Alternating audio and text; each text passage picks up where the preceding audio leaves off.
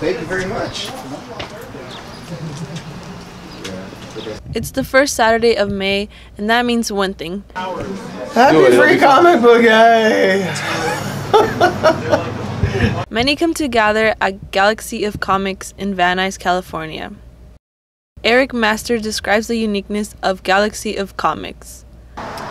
This place different from other comic shops. It has the old school feel. In other words, you can come in and you can talk about comics here. Uh, a lot of the newer shops, it's just uh, in and out. It's more of a retail place. This has the old school, almost uh, uh bar pub atmosphere where you can chit chat about things. All right. Let me actually yeah, do a, it's, do you know? Action Comics had the first release in June 1938 where the first superhero appeared, Superman. Since then, comic books have been very popular among pop culture. Local comic shops like Galaxy of Comics have stayed in business because of the loyal fans. Warren's not too bad of a person, although he tries. It's one of the best shops in the entire valley, really. Since 2009, Galaxy of Comics has been owned and operated by Warren Jaycox. Warren's career took a big turn when he met Bill Leibowitz, who hired him to manage one of his stores. I, I, I was working for Barnes & Noble. I went to I went to San Diego Comic Con one year, and a small um, a small chain of comic book stores. Um, the the owner of this small chain of comic book stores literally hired me on the spot for one of his stores because he needed a manager, and that's how I started in comics. You know, I mean, I was already obviously reading comics. I've been reading comics since I was a little kid, but that's how I got involved in running comic book stores. And honestly, it's just it's a simple jump from you know from running a comic shop, comic shop to you know starting a comic book store yourself. So.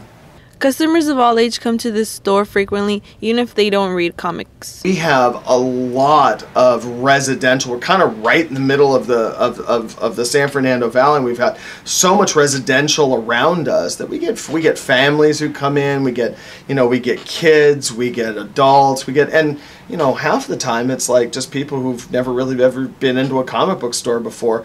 But funny enough, no kind of all about comics. You know what I mean? Whether it's because of the movies or because of the video games or whatever, they kind of know all kinds of stuff. That's why it's nice being close to a college too, because we actually do get a lot of you know twenty somethings, even teen, even late teens, who come in and they know all about this stuff, but it's only because they watched it in the cartoons or that whatever. You know, I mean, they know all about comics, even if they've never picked up a physical comic before, before in their life this is becoming a thing. oh my lord. Galaxy of Comics.